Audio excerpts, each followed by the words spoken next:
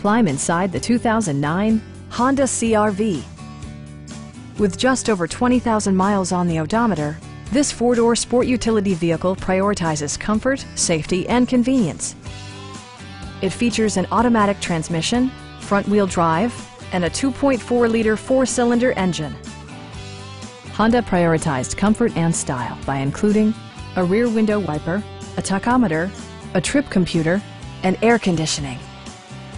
Take assurance in side curtain airbags, providing head protection in the event of a severe collision. It also arrives with a Carfax history report, providing you peace of mind with detailed information.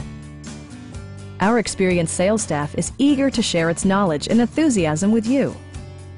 Stop in and take a test drive.